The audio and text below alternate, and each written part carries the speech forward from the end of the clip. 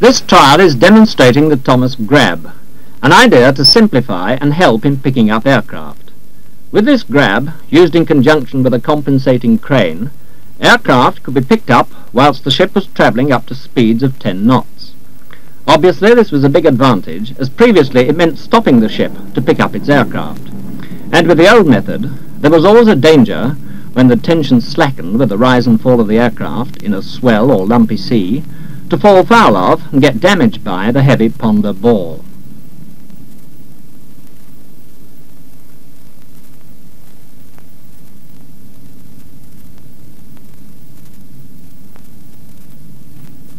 With the Thomas Grab refinement, it was not then always the easiest thing, with the ship in motion, and with any sort of sea, to be picked up without incident.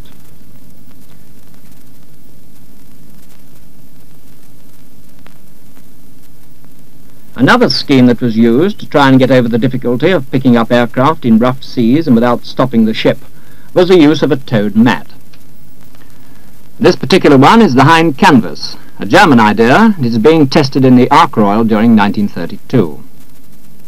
Demonstrating how things were intended to function, the aircraft taxis onto the mat. Having arrived there, it would be comparatively simple for a crane to hook up and hoist inboard.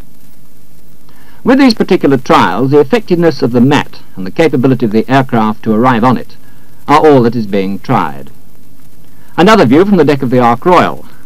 There was no crane aft to pick up the machine for these trials, and the method of getting off was to flood the mat by letting it slack off aft. Sufficient water flows over to eventually wash the aircraft off.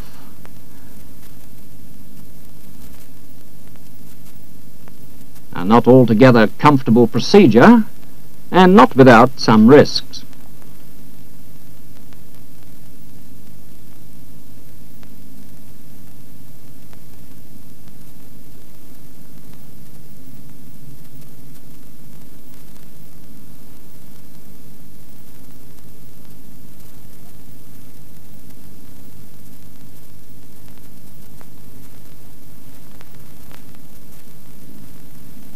This another mat made by Ewell, undergoing similar tests to the hind canvas. It is again being towed aft from the Ark Royal. Its construction is somewhat different, but its function the same. Some adjustments are being made, and the inclusion of the dinghy looks as if that is being tested too, or possibly there to get a closer or more intimate idea of the mat's behaviour. The mat being let out, the dinghy still high and dry.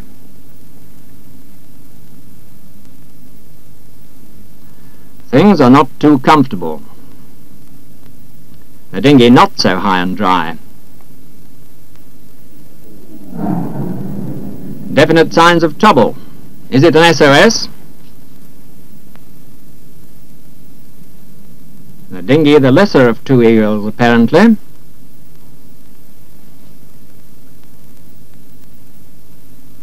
There's still some trouble somewhere.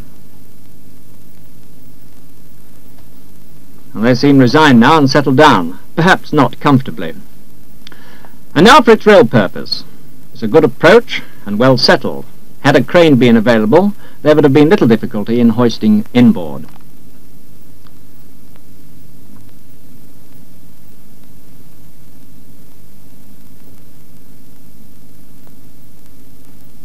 Yet another landing canvas, this time attached to a boom and being swung outboard. These landing mats were all reasonably successful, and did mostly what was expected of them, but they were never adopted by the Fleet Air Arm. The Germans made some use of the scheme, and used it for refuelling at sea, the seaplane they had employed on the Trans-South Atlantic airmail route.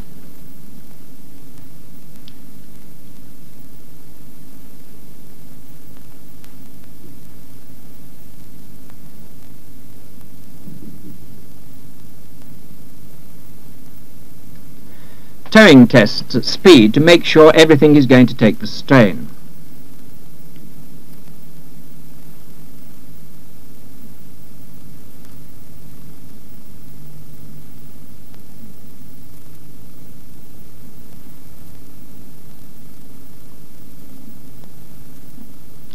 Being satisfied, the machine lands on safely.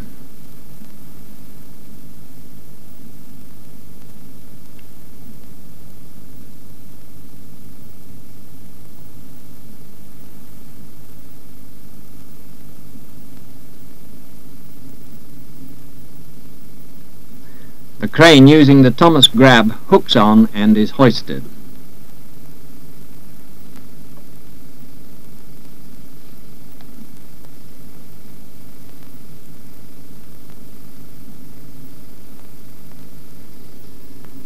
Off again for another attempt and the end of Mat trials.